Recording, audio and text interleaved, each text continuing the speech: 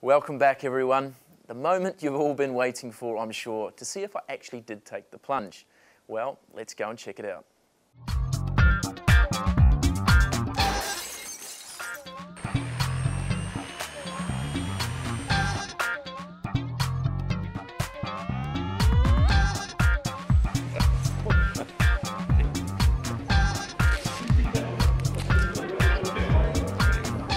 As you can see, I'm just about to do my skydive.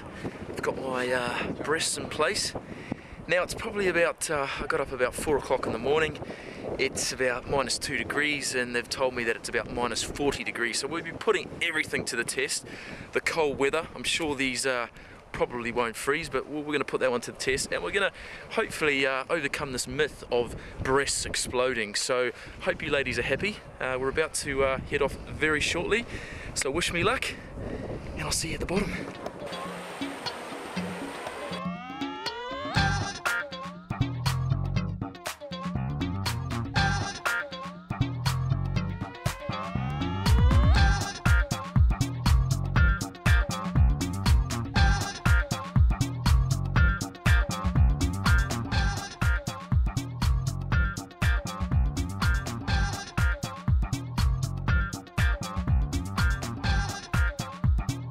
My fingers are frozen. As you can see, put to the test, are they?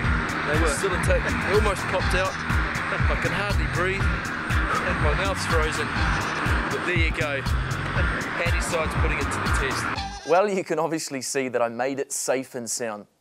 I did slip in a couple of saline implants into my pocket to test those as well, but uh, again, nothing exploded. Now I want to give you some tips on how to choose your plastic surgeon, dentist, doctor, or nurse when you're considering having a cosmetic treatment. So, number one, what I would do is ask your friends, neighbours, and business colleagues if they can recommend a practitioner based on their own personal experience.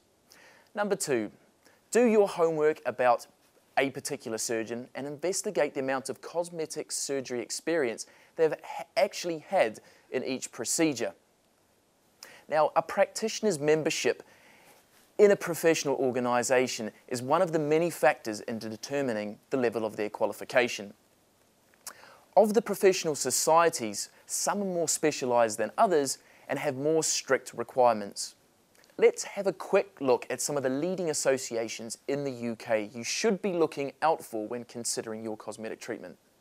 Okay, we've got BAPS, which is the British Association of Aesthetic Plastic Surgeons. We've got BAPRAS, which is the British Association of Plastic Reconstructive and Aesthetic Surgeons. We've got the BACD, which is the British Association of Cosmetic Doctors. The BACD also, which is the British Association of Cosmetic Dentists. Number four, when you're booking a consultation with your chosen clinic, make sure you see the actual surgeon or doctor who will be operating on you before you have your procedure. Number five, before and after photographs are a great way to get a good insight into the surgeon's ability. Although you must realise that you cannot guarantee the result that you will achieve. It's important to remember that every patient has different goals and expectations, and therefore results may vary. So all of this information is on myfacemybody.com and you will have the benefit of meeting most of our specialists through videos of themselves, a virtual tour of their facilities, and hear from some of their patients. A lot of our consumers have found these videos invaluable because they have saved them time and money. Now, let's look at another great story from a patient that has had an amazing cosmetic experience.